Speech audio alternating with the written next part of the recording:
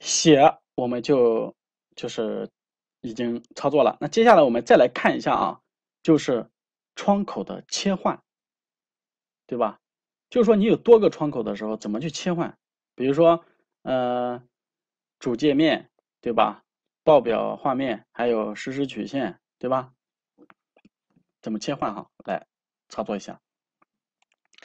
首先，我们在菜单栏添加几个按钮。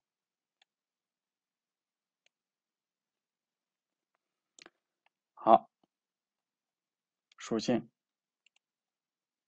比如说这个是主界面哈，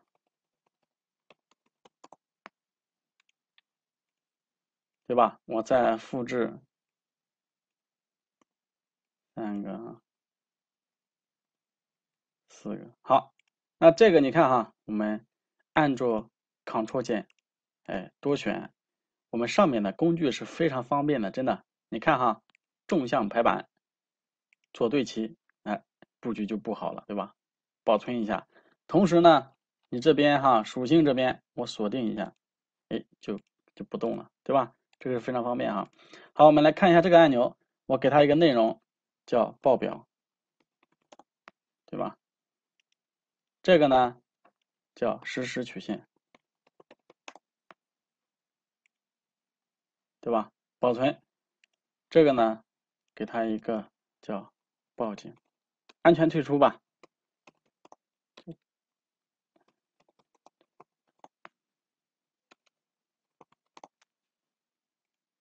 好，保存。那么我们再来看一下头部，我再给它这边建一个叫登录，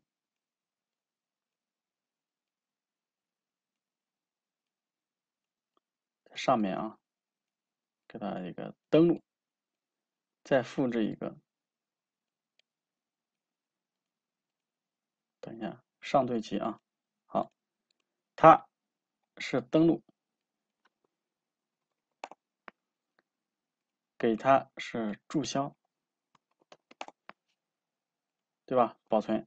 那同样的就是这边有个标签，对吧？谁谁谁登录了，对吧？这个就是登录的当前用户，我给他就是当前用户。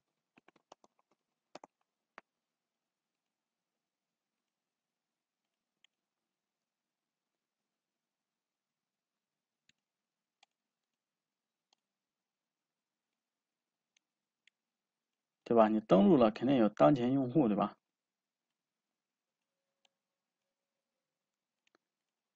上对齐，对吧？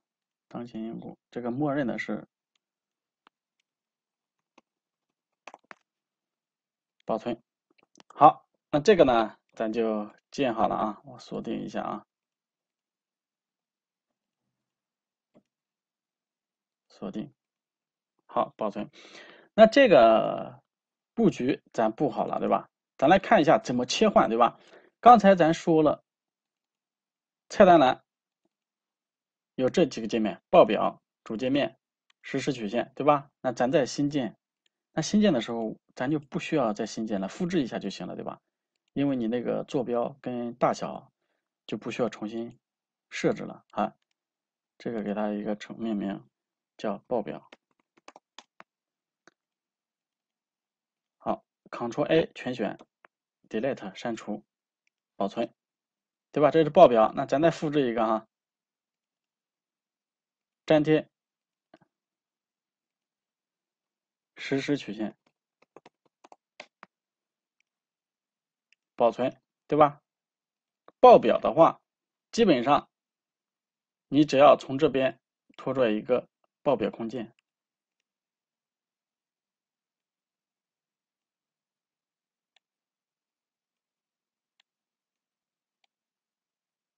对吧？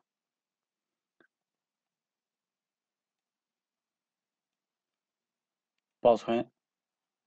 那实时曲线一样的，你拖出一个实时曲线，对吧？我简单的先把布局给大家做一下啊。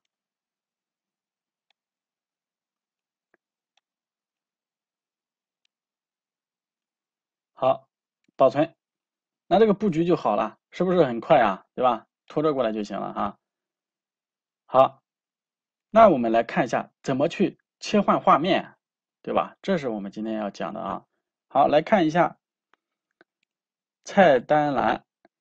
首先啊，还是先了解一下需求，你要做什么，对不对？首先我我要做的就是，我是不是点这个按钮就切换到主界面，点报表就切换到报表界面？那这是不是动作？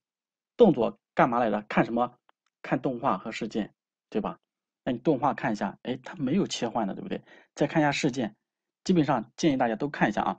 那这里切换有两种，第一种是通过脚本，对吧？左键按下，哎，也是可以实现的，对吧？那待会儿再给你看。那再往下看哈，哎，这边大家能够明显的看到哈，字面意思，字面意思能看，打开窗体用这个也行，但是你还要关闭其他，对吧？那我干脆直接用这一个，打开窗体，关闭其他，哎，点一下。我是不是打开主界面？同时你框架也要打开，对不对？那这个报表也是的，对不对？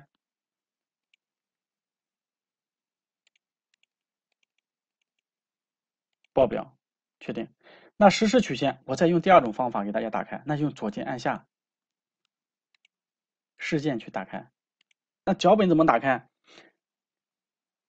对不对？咱来看一下方法哈。看哪里？是不是看右边？跟什么有关？那跟变量有关？那肯定不是。跟报警有关？也不是。那跟什么？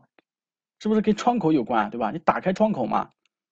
再看一下，哎，对象，对象里面，呃，没有。那再看一下命令，哎，是不是有？对吧？所以说你刚开始做我们组态软件的时候，并不一定要记住，哎，这么多指令，这么多函数，根本记不住。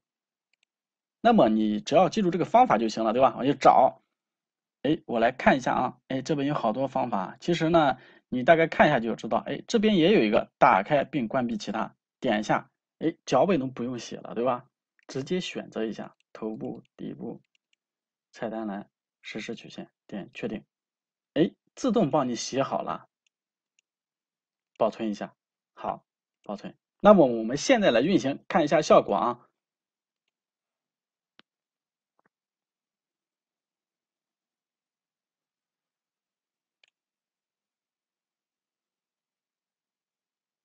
好，正在运行啊。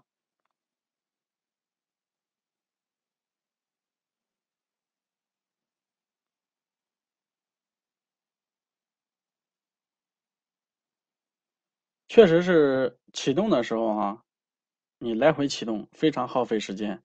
那我们这个画面切换做好了之后呢，我待会儿再来告诉大家哈，就做 UI 设计的时候不需要来回启动的啊，对吧？